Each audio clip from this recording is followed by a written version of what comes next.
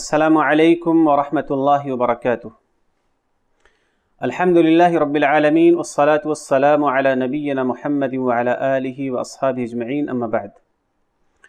محترم مشاہدین کرام، میں آپ کے سامنے نبی اکرم صلی اللہ علیہ وسلم کی ایک اہم ترین حدیث پیش کرنا چاہتا ہوں۔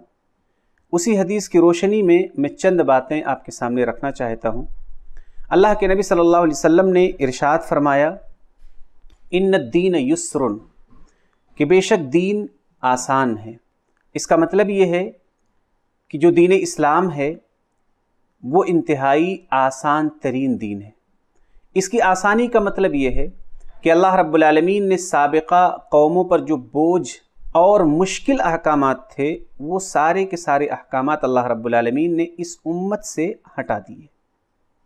دوسری بات یہ کہ اسلام نے جو فرائض بتلائے ہیں، اسی طرح سے جن محرمات سے منع کیا ہے، اسی طرح سے ایک مسلمان کو جن چیزوں کا مکلف بنایا ہے، وہ سارے کے سارے احکامات، وہ ساری کی ساری تعلیمات انسانی فطرت کے عین مطابق اور اگر کسی بھی انسان کو کسی وجہ سے اسلام کی کسی بھی تعلیم پر عمل کرنے میں مشکل ہو تو شریعت نے وہاں پر بھی مزید آسانیاں فرمائی ہیں مثال کے طور پر ایک آدمی حالت سفر میں ہے، اسے سفر کی وجہ سے تکلیف ہے تو اسلام نے نماز اور روزے جیسے اہم ترین فریضے کو ہلکا کر دیا ہے اور اسے مہلت دے دیا ہے کہ تم نماز چار رکت کے بجائے دو رکت پڑھو، جو سنت معقدہ ہے اسے مت پڑھو۔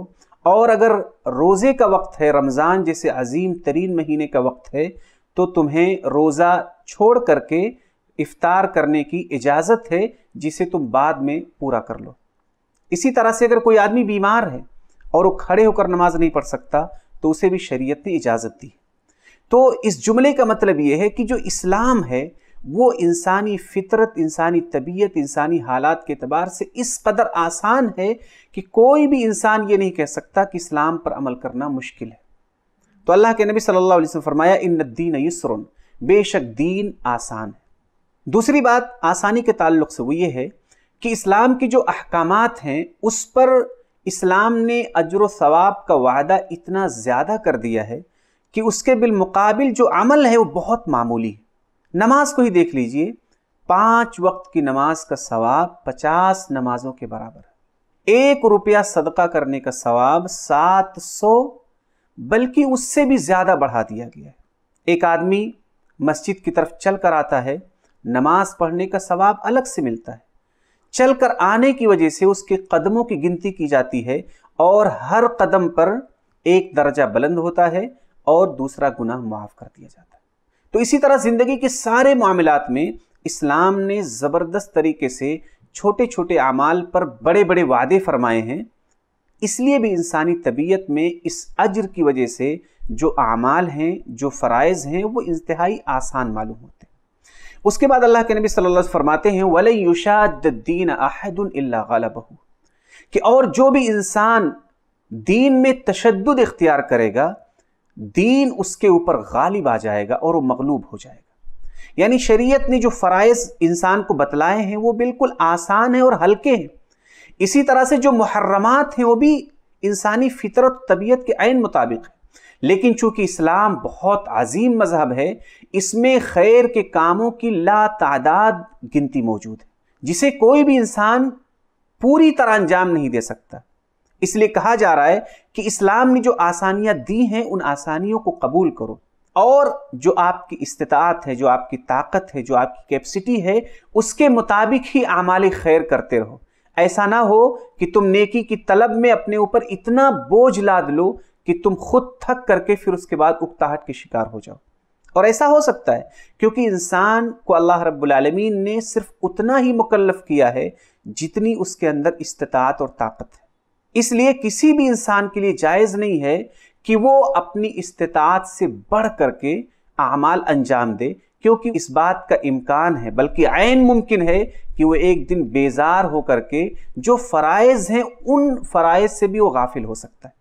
لہٰذا آپ نے فرمایا ولی یوشاد الدین احد اللہ غالب کہ جو بھی انسان دین میں تشدد اختیار کرے گا، دین کی جو آسانیاں ہیں، جو سہولتیں ہیں، جو نرمی ہے، اسے اختیار نہیں کرے گا، بلکہ اپنے اوپر وہ بوجھ لا دے گا جو بوجھ شریعت نے خود اس کو نہیں بتایا۔ ہے تو ایک دن آئے گا کہ وہ مغلوب ہو جائے گا اور وہ ایسے کاموں سے بھی اپنے آپ کو محروم کر لے گا جو کام کرنا شریعت نے اس کے لیے ضروری قرار دیا اور اس کا مشاہدہ ہم اور آپ اپنے سماج میں دیکھ سکتے ہیں۔ اس کے بعد اللہ کے نبی صلی اللہ علیہ وسلم فرمایا فسدیدو و ابشرو تو تم کیا کرو؟ تم سیدھے طریقے سے دین اسلام کے احکامات پر قائم رہو۔ اور اگر یہ اعلیٰ ترین اسلوب حیات تم سے ممکن نہ ہو، تو تم راہ حق کے بالکل قریب رہو۔ بہت دور مت چلے جاؤ کہ دین سے تمہارا رشتہ ہی ٹوٹ جائے، بلکہ تم سیدھے راستے کے بالکل قریب رہو اور یا تو سیدھے راستے پر پوری طرح قائم رہنے کی کوشش کرو۔ وہ اب شروع اور خوشخبری قبول کرو۔ کیونکہ اللہ رب العالمین بندوں کی کمزوریوں کو جانتا ہے۔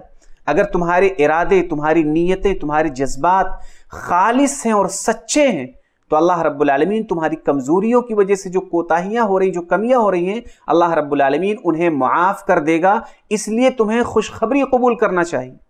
اسی لیے اگر کوئی آدمی بھلائیاں بھی انجام دیتا ہے اور نفس کی کمزوری کی وجہ سے کچھ کمیوں کا بھی مرتکب ہوتا ہے، تو اسے نہ تو مایوس ہونا چاہیے اور نہ ہی کسی کے لیے جائز ہے کہ ایسے انسان کو مایوس کرے۔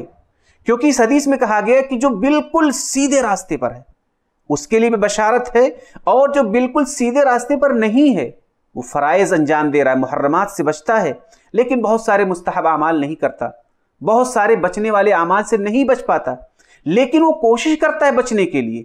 اس کو بھی اللہ کے نبی صلی اللہ علیہ وسلم نے بشارت دی ہے کہ اللہ کے رحمت کی امید رکھو اور خوشخبری قبول کرو۔ اس کے بعد اللہ کے نبی صلی اللہ علیہ وسلم نے تین اوقات ایسے بتائے ہیں جن کے اندر انسان چاہے تو اپنے رب کو راضی کر سکتا ہے۔ جن کے اندر وہ چاہے تو اچھے سے اچھے اعمال اعلیٰ ترین طریقے سے انجام دے سکتا ہے۔ کیونکہ اگر آپ تھکاوٹ کا شکار ہیں، اگر آپ انتشار ذہنی کے شکار ہیں، اس ٹائم آپ عبادت نہیں کر سکتے۔ لیکن تین اوقات ایسے ہیں جن میں انسان اللہ رب العالمین کی عبادت پوری دل جمعی کے ساتھ کر سکتا ہے، پوری توجہ کے ساتھ کر سکتا ہے۔ وہ تین اوقات یہ ہیں۔ آپ نے فرمایا، وَاسْتَعِينُوا بِالْغَدْوَةِ وَالرَّوْحَةِ وَشَيْءٍ مِّنَ الدُّلَجَةِ کہ اور مدد طلب کرو۔ کس چیز پر؟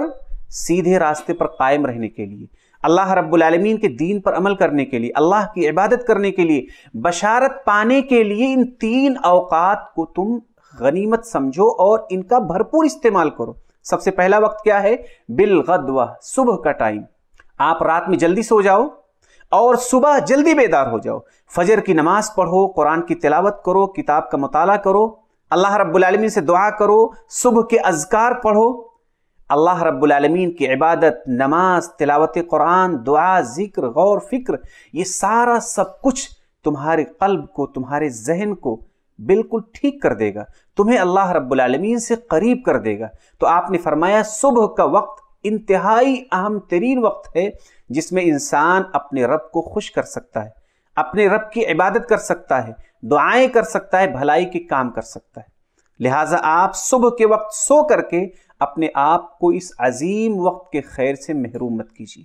دوسرا وقت آپ نے فرمایا وروحتی شام کا وقت، جس وقت انسان اپنے کام سے واپس اپنے گھر پر پہنچ جاتا ہے، اپنے اہل میں پہنچ جاتا ہے اور اسے ایک طرح کا سکون میسر ہو جاتا ہے۔ ایسے وقت وہ پوری توجہ کے ساتھ پھر وہ اپنے رب کی عبادت کر سکتا ہے۔ کتاب کے مطالعے کی شکل میں، تلاوت قرآن کی شکل میں، نوافل کی شکل میں، دعا کی شکل میں آپ اس کا اہتمام کرو۔ اس کے بعد تیسرا وقت آپ نے بیان فرمایا، وَشَيْءٍ مِّنَ الدُّلَجَ رات کے ایک حصے میں آپ نے پوری رات کا نہیں فرمایا۔ کیونکہ اگر انسان پورے جوش میں پوری رات کی عبادت کرنا شروع کر دے، تو یہ ایسی تکلیف ہے، یہ ایک ایسا بوجھ ہے جسے انسان زیادہ دن تک نہیں چلا سکتا۔ اور ایک وقت آئے گا کہ وہ اتنا بیزار ہو جائے گا کہ وہ فجر کی نماز کا بھی اہتمام نہیں کرے گا۔ اس لیے آپ نے فرمایا وہ شعی امین الدولجا رات کے ایک حصے میں آپ پوری رات سو، تھوڑا سا وقت رات کا نکالو، جس میں آپ اپنے رب سے باتیں کرو، اپنے رب سے دعا کرو، اپنی پریشانی، اپنی مشکلات، اپنے غم، اپنے رب کے سامنے بیان کرو، کیونکہ رات کا آخری حصہ جس میں پوری کائنات پرسکون ہوتی ہے، جس میں اللہ رب العالمین آسمان دنیا پر نازل ہوتا ہے۔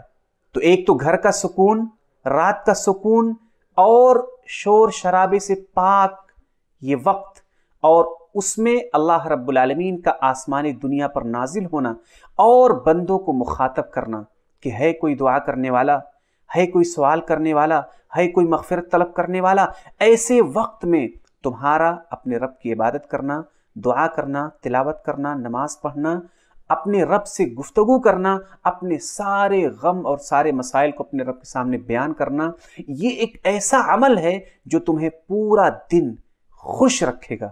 تمہاری پورے وقت کو اللہ رب العالمین برکتوں سے بھر دے گا۔ تو آپ صلی اللہ علیہ وسلم نے ان تین اوقات کی نشاندہی فرمائی اور یہ تین اوقات ایسے ہیں جن میں آپ چاہیں تو اپنے رب کی اچھی طرح عبادت کر سکتے ہیں، اپنے رب سے جو بھی آپ کو مانگنا ہے سارا آپ مانگ سکتے ہیں۔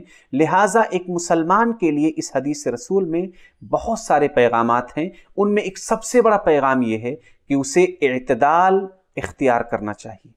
میانہ روی اختیار کرنا چاہیے۔ اللہ رب العالمین نے دین اسلام کی شکل میں جو آسانیاں عطا فرمائی ان آسانیوں کو قبول کرنا چاہیے اور ایسی چیز، ایسے اعمال انجام دینا چاہیے جو اس کے لیے کرنا آسان ہے اور اس کا عجر و ثواب بہت زیادہ ہے۔